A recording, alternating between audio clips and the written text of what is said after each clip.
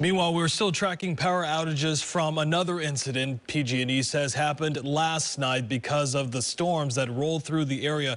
This is a live look at the PG&E outage map right now. You can see thousands of folks still in the dark. They've been in the dark for about almost a whole day now, some 24 hours.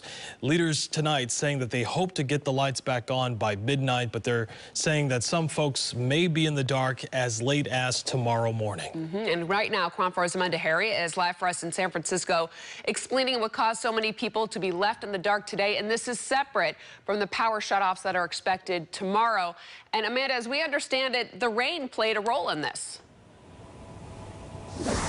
Yeah, this is different. This is because of weather, most of this. It's because of weather with the rain.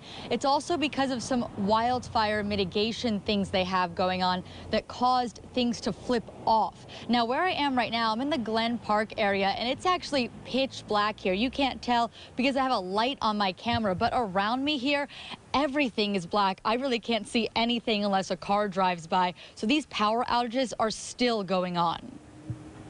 Just the lack of electricity is, is annoying.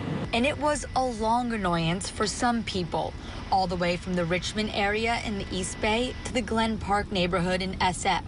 Chris Doble says he lost electricity in the middle of the night, and they were without it all day. Probably around 2 in the morning, I heard an explosion. Wasn't quite sure what it was, but then when the, I couldn't turn the lights on, I realized that the power was out. PG&E spokesperson Deanna Contreras says the explosion they heard was likely an electrical flashover. She says that was caused by the first real precipitation of the season. She says when we've been without rain for a long time, dust and dirt accumulates on the lines. But when all that dirt and dust gets wet, it turns into mud, which conducts electricity. And that's what's causing the outages. In the peninsula, PG&E had different problems that led to outages. It's just due to these settings that we have on the line um, for wildfire. The wildfire mitigation settings allow for a line to turn off if a fault is detected. The lines were too sensitive and turning off at the wrong times. Contreras says they're fixing the problem to prevent it from happening in the future. She also says they had extra crews working throughout the Bay Area to get everyone's lights back on. You can see it caused some traffic in the Glen Park neighborhood. Doble says although it was a long day without power, it was just one day. I feel worse for people who end up in uh, disaster situations where you don't have any power for weeks.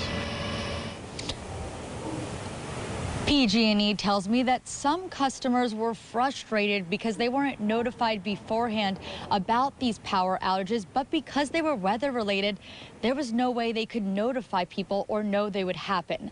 Live in San Francisco, Amanda Hari, KRON 4 News.